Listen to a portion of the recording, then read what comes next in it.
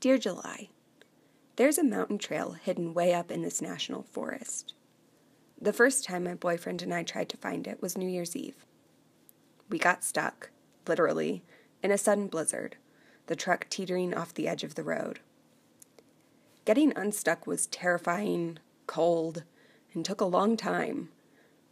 But we did it together, and we got home safely.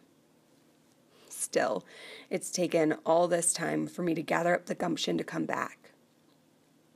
Unsurprisingly, the change of seasons made all the difference. Being stuck in the snowstorm was scary. It was the first scary thing Dan and I experienced together. And that changed how we experienced the summer version of the mountain. I don't want to be stuck in a snowstorm again, but I'm really glad we got to have it both ways.